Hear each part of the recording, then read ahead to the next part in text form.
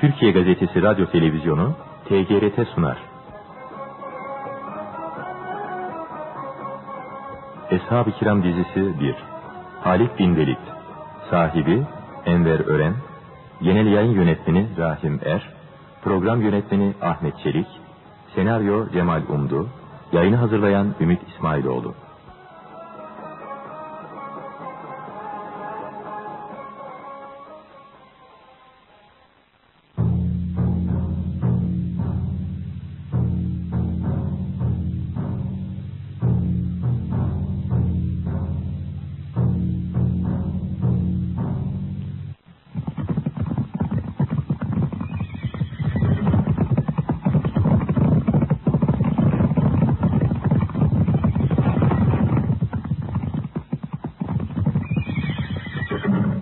Etrafa dağılın. Ve kimsenin kaçmasına fırsat vermeyin. Görünürde kimsecikler yok. Büyük terk edip nereye gitmiş bunlar? Efendim buradakiler de diğerleri gibi mallarını bırakıp kaçmışlar. Demek ki toplandıkları bir yer var. Ansızın baskın yapabilirler. Köyü iyice tarayın. Aileden kimi bulursanız yakalayıp buraya getirin. Efendim sadece bazı yerlerden yaşlı sesleri ve çocuk ağlamaları duyuluyor. Hepsini derhal buraya getirin. Baş üstüne.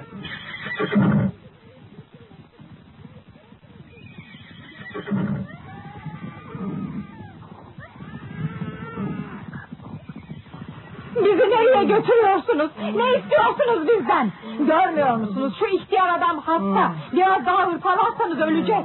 Kesin sesini. Sağ kalacağınızı kim söyledi size he? Hadi yürüyün. Sallanmayın hadi. Hadi. Sallanmayın hadi.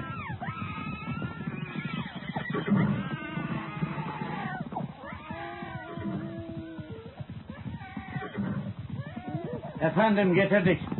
İşte bunlar. Koca köyde yalnız bu kadar mı insan var? Hey Muhammediler! Öbürleri nerede? Nereye gittiler ha? Söyleyin bakalım. Bilmiyoruz. Bilmiyoruz. Hem şu gördüğünüz yaşlı babam olmasa bizi de göremeyeceksiniz.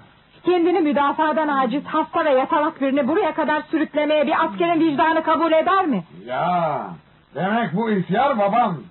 Kucağındaki çocuk kimin? Benim. Babası nerede? Burada yok. Ha, anlaşıldı. Demek Müslümanların toplandıkları orduya katılmış. Askerlerinize söyleyin de şu ihtiyar hastayı rahat bıraksınlar. Ayakta duracak mecali yok.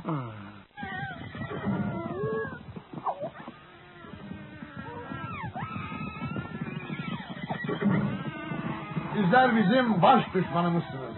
Müslümanları perişan vaziyette görmek bana zevk verir.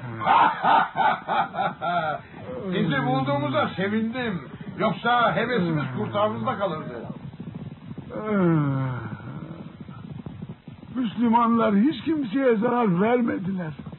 Sizler bu yaptığınız eziyet ve vahşetin hesabını hem bu dünyada hem de ahirette çok ağır ödeyeceksiniz. Kes sesini ihtiyar. Askerler atın arkasına bağlayın şunu. Ve yerde sürüyün.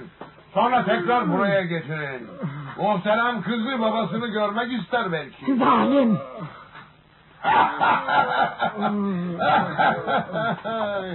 Kucağımdaki çocuğu buraya getirin. Bizanslı bir subaya hakaret etmenin ne demek olduğunu göstereceğim şimdi ona. Çek o pis kılıcını çocuğun boğazından katil. Masum çocuktan ne istiyorsun? Seni ellerimle parçalayacağım. Ellerimle. Subayımıza böyle hakaret edemezsin. Bırakın konuşsun, bırakın. Ne de olsa mümin safları için yetiştirdiği cengaverleri gidecek elden. Kolay mı?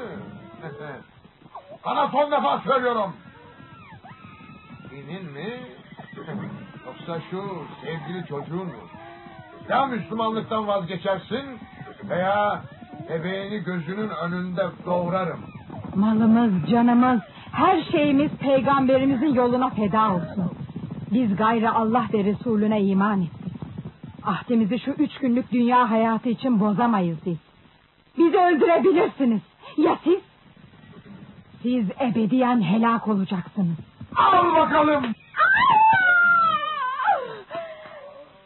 Kafirler!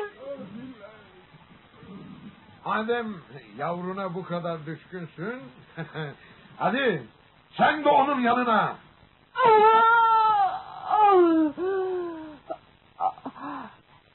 La ilahe illallah Muhammedin Resulullah. Bebeği öldürdü yetmiyormuş gibi zavallı annesini de öldürdü. O çekil. Bunlar onlar katiller. Bir fırsatını bulup aralarından sıyrılmalıyım. Bu canavarlarla beraber olmak en büyük işkence. Askerler! Köyü ateşe verin! Burayı terk ediyoruz! Çabuk olun!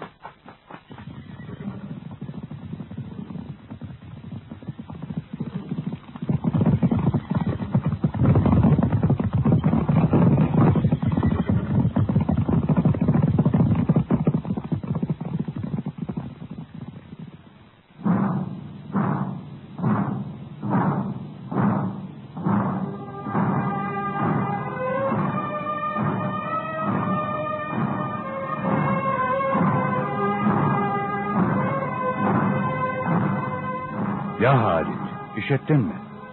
Müşrikler müdafasız buldukları Müslüman köylerine akın düzenleyip bulabildikleri yaşlı ve çocukları kılıçtan geçiriyorlarmış. Anlatma kardeşim. Duydukça tüylerim diken diken oluyor. Hangi dinde olursa olsunlar çocuk, kadın ve ihtiyarları öldürmek olur mu? Ama o mazlumların kanı yerde kalmayacak.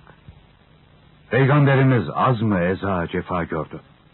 Şimdi şehit olma arzusuyla dolu Mute'ye yürüyoruz. Elbette imanları uğruna canlarını feda edenlerin kanları yerde kalmayacaktır. Ya Sabit, Zeyd bin Harise'nin şehit olması halinde sancağı kim alacak? O takdirde Cafer bin Ebi Talip sancağı alacak. Onun da şehit olması halinde Abdullah bin Revaha orduya kumanda edecek. Allah Resulü'nün emri böyle. Allah'ım bizlere de şehit olmayı nasip eyle. Amin.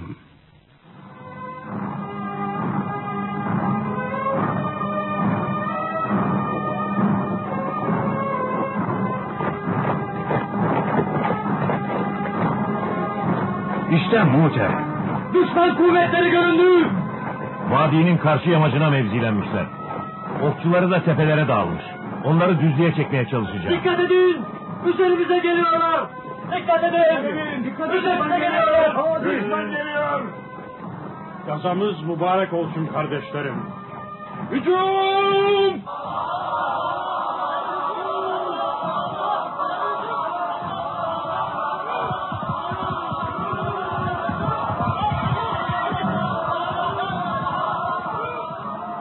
Zeyd şehit oldu.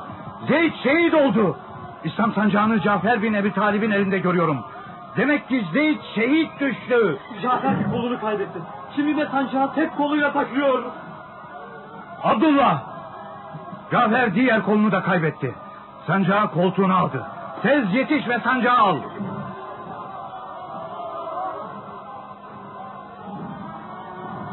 Kardeşlerim, buraya gelin. Çabuk olun, bu tarafa toplanın.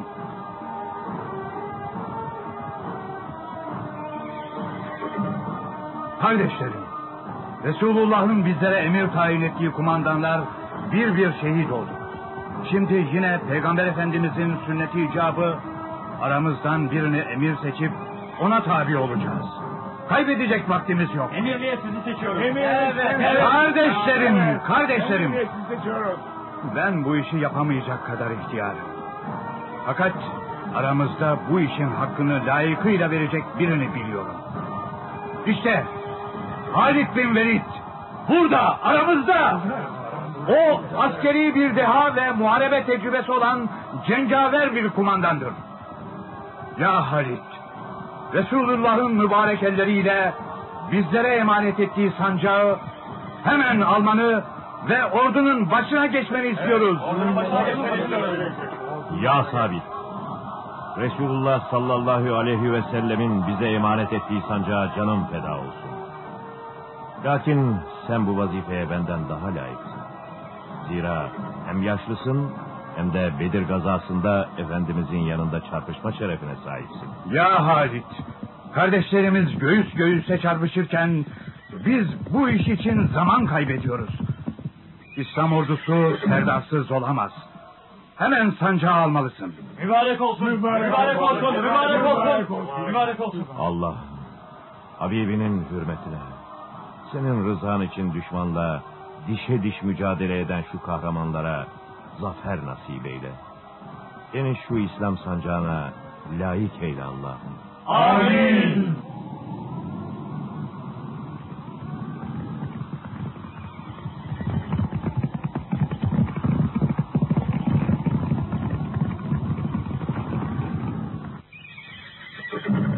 Efendim, Rumlar geri çekilmeye başladılar. Çarpışmalara ara verildi. Kardeşlerim, ilk işimiz muharebe düzenini değiştirmek olacaktır. Nasıl ya Halit? Sağ kanatta vuruşanları sola, arkadakileri öne alarak. Böylece düşman daha önce görmediği askerlerle karşılaşınca yardımcı kuvvetler geldiğini sanarak manen sarsılacaktır. Bu da işimizi kolaylaştırır. Seni tebrik ederim kardeşim. Çok güzel bir fikir. Herkes kararlaştırılan harp düzenini alsın. Herkes kararlaştırılan harp düzenini alsın.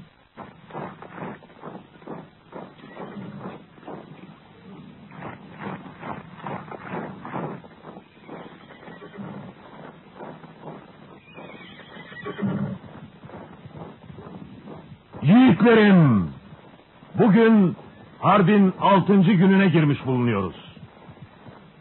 Karşımızda İslamiyet'in yayılmasını istemeyen, Müslümanlara zulüm ve eziyet eden düşman ordusu var. Bu ordu Resulullah'ın yolladığı elçiyi bile şehit etti.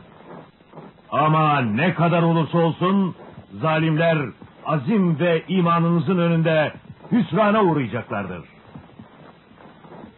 Unutmayın ki karşımızda iki ihtimal var.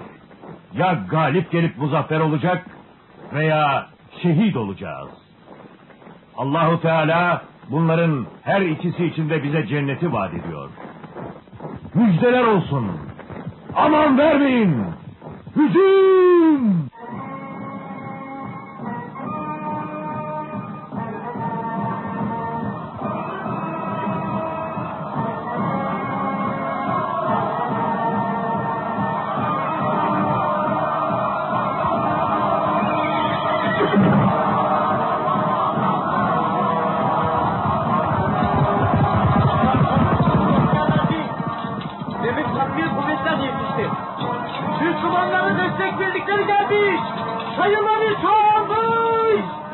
Müslümanlar buraya toplanmış. Canımızı kurtaralım. Yoksa hepimizi kılıçtan geçirecekler. Kaçalım. Geri çekiliyoruz kaçalım. Geri çekiliyoruz. Rumlar kaçıyor. Düşman kaçıyor.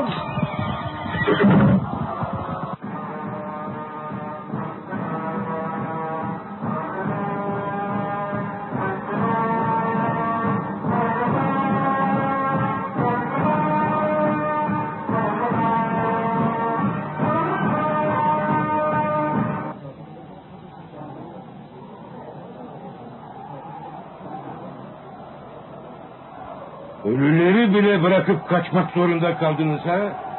Korkaklar! Yazıklar olsun! Yazıklar olsun! Müslümanların sayısı bildiğimizden fazla mıydı? He? Üç bin, üç bin kişi kadardı. Üç bin mi? Aman tanrım! Aman tanrım! Yüz bin kişilik Bizans ordusunu üç bin İslam askeri bozguna uğratıyor. Hey, o şey değil. Hayır. Olamaz. Tarihe geçecek bir rezalet bu. Bunlara yardım gelmiş olmalı. Evet. Evet mutlaka yardım görmüşlerdir. Söyle bakayım korkak. Hezimet nasıl oldu he? Nasıl? Haşmet Vahap, Müslümanların önünde önce hiç görmediğimiz bir kumandan belirdi. Çok, çok heybetli biriydi. İslam sancağını eline almış, önüne geleni kılıçtan geçiriyordu. Askerleri de bir afet, Bizi fena halde kıstırdılar. Ee, izahı, izahı mümkün olmayan bir çarpışma oldu. Canımızı zor kurtardık İmparator Hazretleri. Yıkıl karşımdan pis korkak. Defol. Seni görmek istemiyorum. Şey, izin verirseniz son bir şey söylemek istiyorum İmparator Hazretleri. Sarayın önü kaçabilen yaralılarla dolu. Ne yapmamızı emredersiniz? Canları cehenneme. Hepiniz geberin. Tanrım, Tanrım.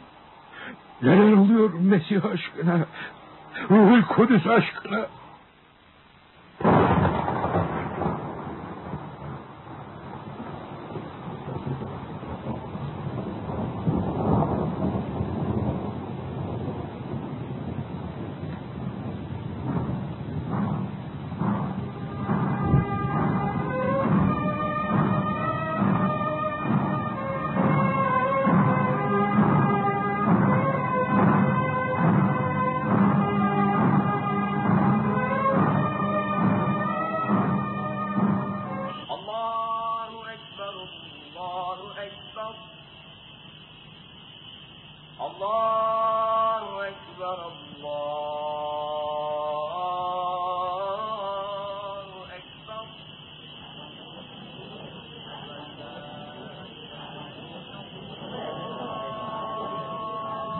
Halit, kardeşim.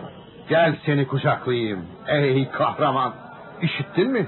Resulullah Mute'de gösterdiğin muvaffakiyet üzerine seni Allah'ın kılıcı ünvanıyla takip buyurmuş. Demek ki bundan böyle sana Seyfullah diyeceğiz.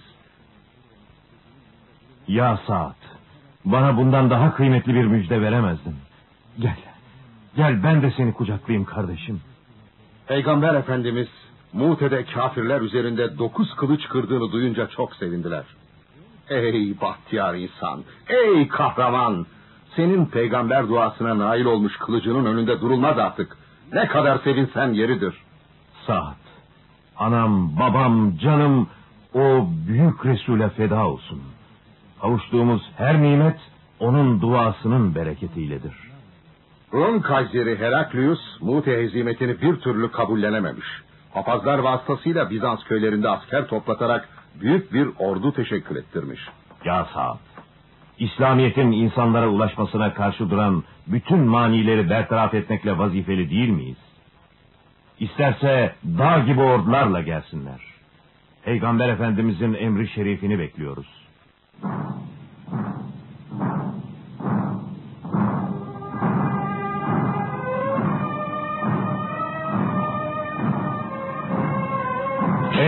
Müslümanlar! Bugün Resulullah'ın emriyle yeni bir gazaya çıkıyoruz.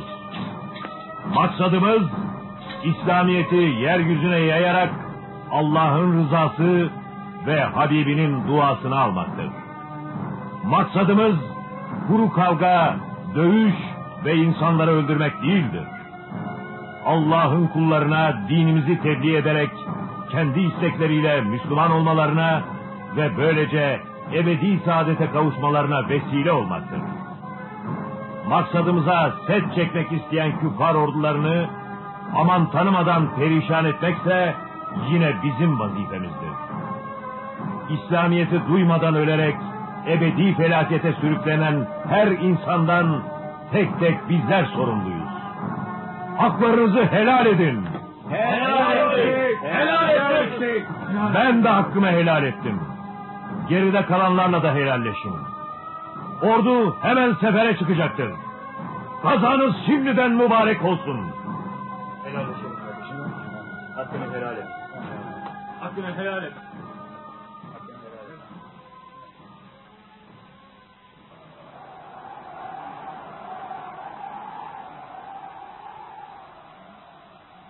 Efendim, düşman kuvvetleri Yermük Vadisi'nde toplanmış. Etraftaki tepelere de okçularını yerleştirmişler. Biner kişilik bölükler halinde muharebe düzeni içindeler. Demek ki bizim aldığımız harp nizamını almışlar. Bölük komutanları. Herkes bölüğünün başına geçsin. Sabaha bekleyeceğiz. Hava iyice karardı. Kimse ateş yakmasın.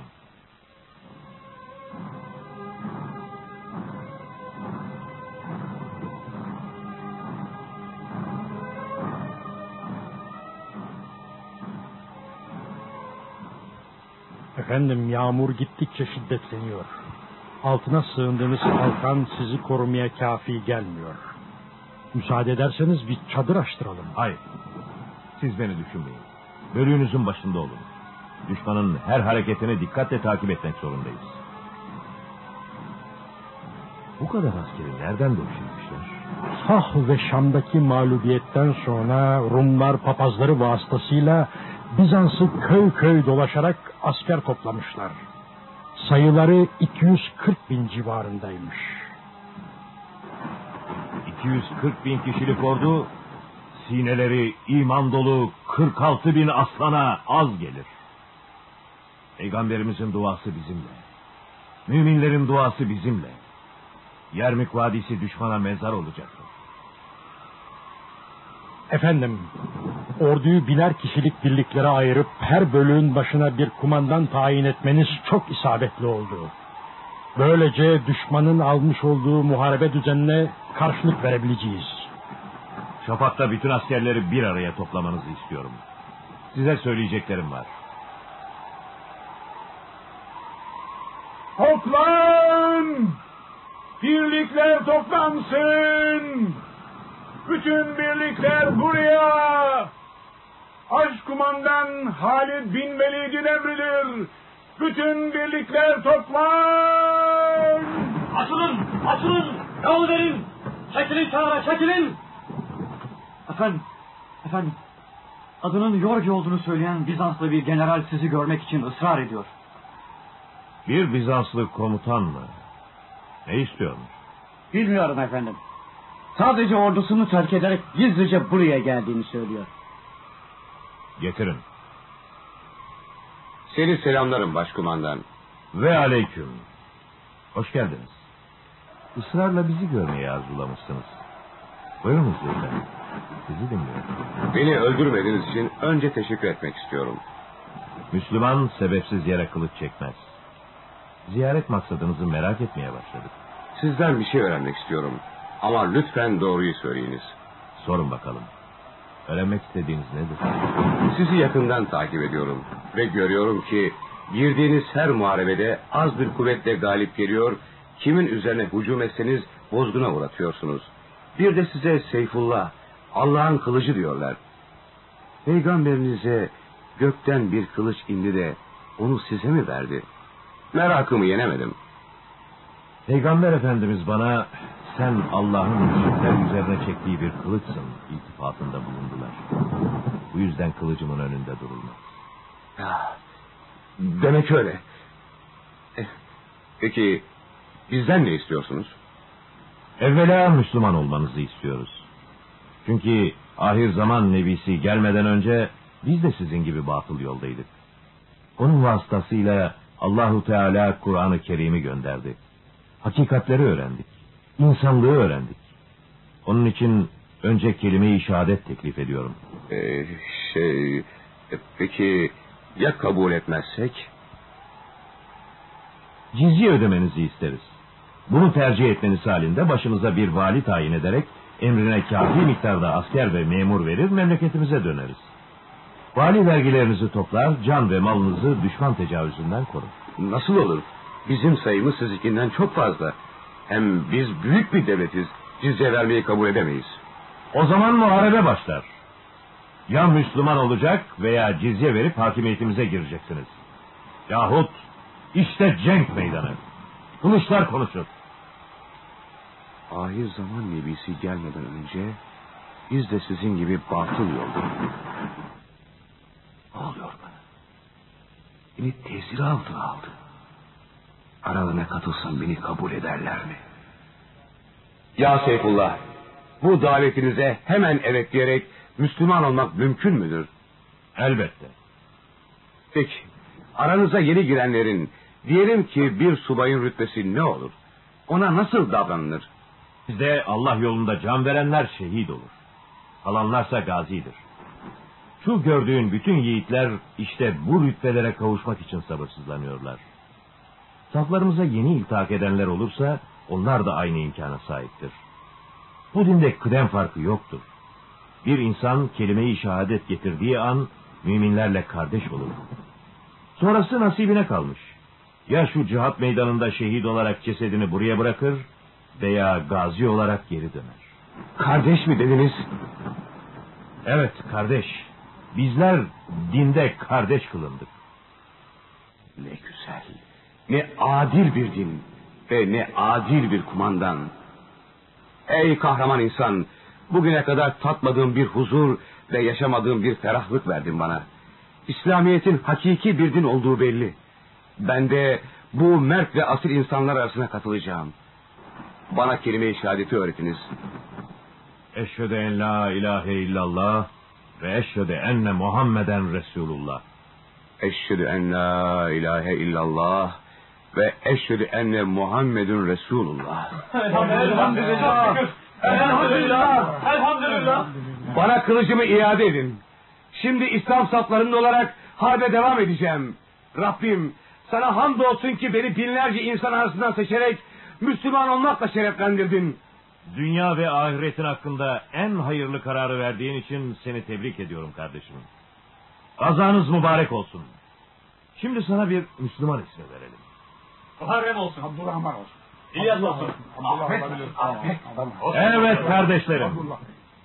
Bu batlı insana bundan böyle Abdurrahman denecektir. Hayırlı olsun. Hayırlı olsun. Güzel bir isim. Hayırlı olsun. Kardeşlerim, yiğitlerim, cengaverler. Düşmana bir an önce hücum etmek için sabırsızlandığınızı biliyorum.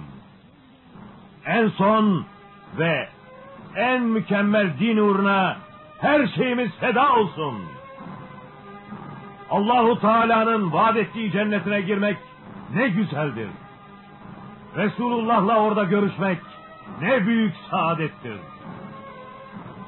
Düşmana kararlaştırılan harp nizamıyla saldıracağız. Hadi bismillah! Hücum! Allahu Ekber. Allahu Ekber.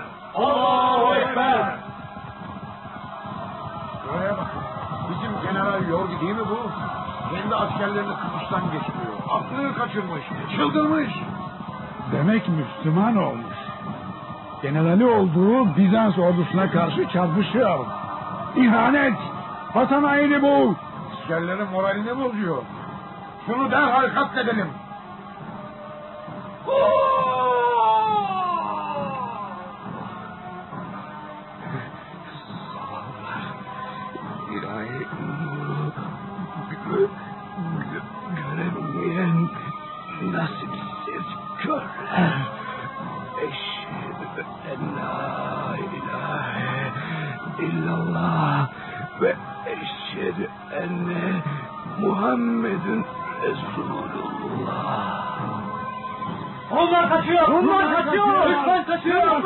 kaçıyor. Düşman kaçıyor. Kaçıyor.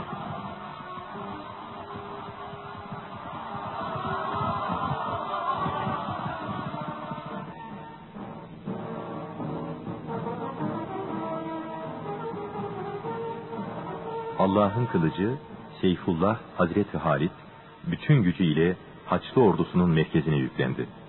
Merkezdeki kuvvetlerin dağılmasıyla 240 bin kişilik Rum ordusu kaçmaya başladı. Böylece İran, Irak, Şam, Suriye ve Filistin Halit bin Velid radıyallahu anh'ın kahramanlığı ve güzel idaresiyle fethedildi.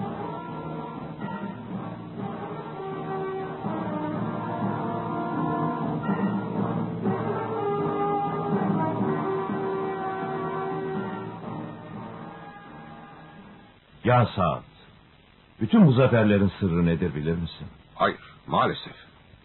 İşte Resulullah'ın veda hacında hediye ettikleri şu birkaç tel mübarek saçı o günden beri sarığımın içinde taşıyorum. Ya maşallah. Bütün muvaffakiyetimiz işte görmüş olduğum bu mübarek saçların hatır ve bereketinedir. Ya Halit. Müsaade edersen bu aziz yadigarı ben de öpüp koklayayım.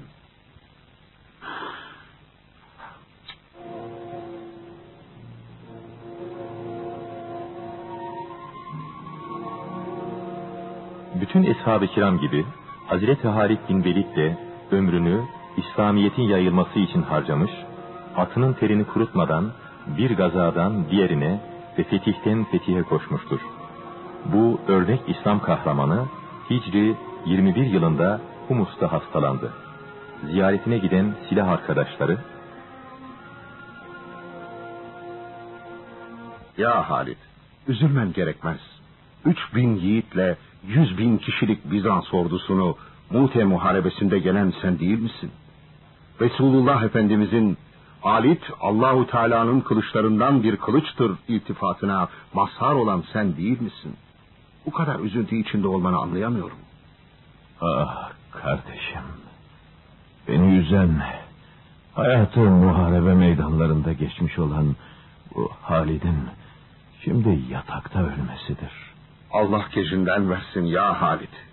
Resulullah'ın hiçbir hesabı rahat yatağında ölmedi. Ya harp meydanlarında veya uzak şehirlerde yine İslam'ı yayarken garip olarak şehit oldular. Ah Halit. Şehit olamayan zavallı Halit.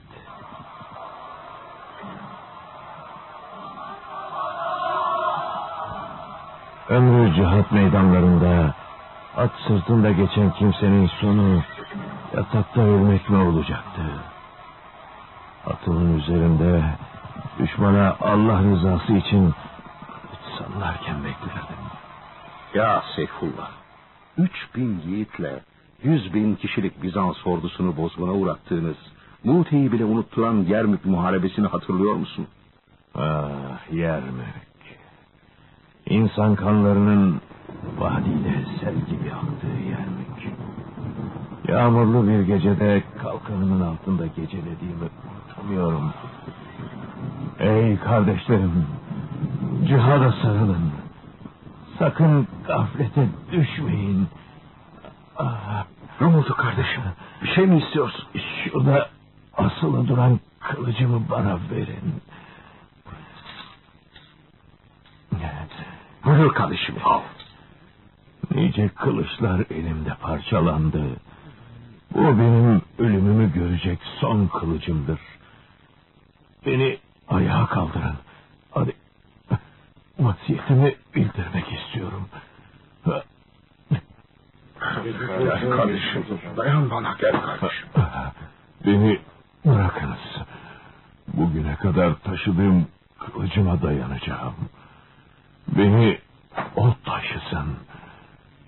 Ölümü cihattaymışım gibi ayakta karşılamak istiyorum.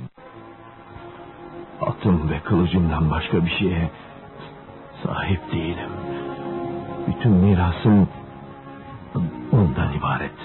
Öldüğüm zaman at ve kılıcımı gözünü budaktan esirgemeyen bir cengaver alsın.